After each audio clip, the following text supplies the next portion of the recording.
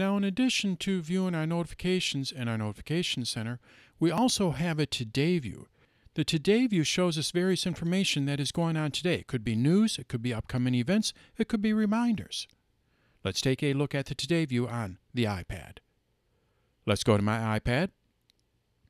Now we have a few different ways to access the Today view. I can access it through the Notification Center. How do I get to the Notification Center? I swipe down from the very top here, swipe down. I'm looking at my notifications, and if we look here at the bottom, you're going to see I have these two dots. This means that I can swipe over to the right. When I swipe over to the right, I'm looking at my Today view. So one way is through the Notification Center. Another way is from our home screen, which is where we have all of our different apps. Now, if you recall, I have three different home screens on here. I can swipe over to the left, and I'm at my second home screen. Swipe to the left again, I'm at my third home screen. Let's push the home button. Now I am back at my first home screen. So how do I access my Today view? Well, when I'm on my first home screen here, all I have to do is swipe to the right again, and I'm on my Today view. I swipe back over to the left, I'm back at my home screen. Let's take a closer look at this. If you look here, you're going to see I have four dots. If you recall, I only have three home screens. So what is this first dot on the left? That represents the Today view. So if I had five home screens, I would actually have six dots here. The dot on the left is my Today view. The five dots on the right would be my home screens. And again, since I have three home screens, the dot on the left is my Today view, the three dots on the right are my home screens. So to access our Today view from our home screens, we just have to keep swiping over to the right until we get to our Today view. I can also access this from my lock screen. I'm going to put my iPad to sleep by pressing the sleep wake button. Let's wake it back up. And if we look here, you're going to see we have these three dots. I swipe over to the right, I'm looking at my Today view.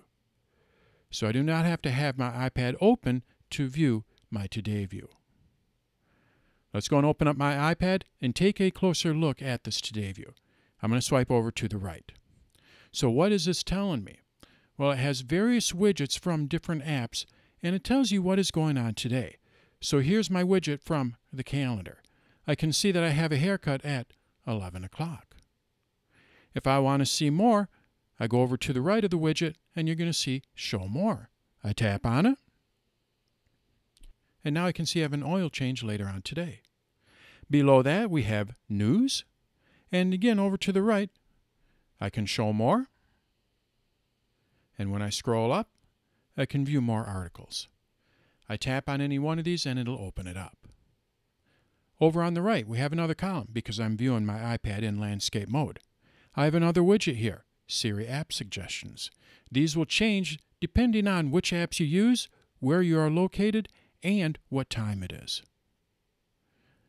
Below that, we have my music, and if I scroll up, I also have reminders, and I can see what is upcoming next.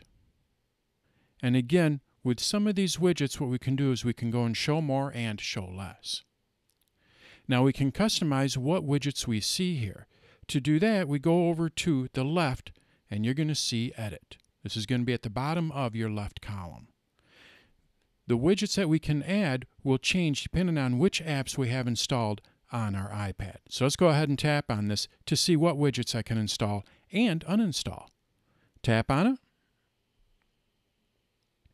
And now we can see we have my left column widgets, and then we also have my right column widgets. So if I wanted to move music here, which is in my right column, over to the left column, all I need to do is just go over to the right here on these three lines, and then I just drag it up to the left column, and I place it where I want in that left column. If I want to remove it, then what I do is I tap on the little red circle here, and then tap on Remove. And now it is no longer in my Today view. So where did it go? Well, it went down to More Widgets. These are all the widgets that are not installed. So when I scroll up here, you're going to see I have a number of widgets. one of them being music. That's because I no longer have it installed. To install any one of these, all I do is just tap on the green plus. Let's go ahead and install Notes. And now we can see Notes is installed. It's installed on my right column. Again, I can go and drag it around to move it to a different column by tapping and hold on these three lines and drag it where I want. And again, the number of widgets that you have will depend on which apps you have installed on your iPad. Third-party apps can install widgets, so when you install an app from the App Store, you may want to go and see if they have a widget. When you are finished, all you have to do is just tap on Done, and now all of your changes will be shown on the Today view. So that's the Today view on the iPad. We can access it through the Notification Center, through our home screen, or through the lock screen.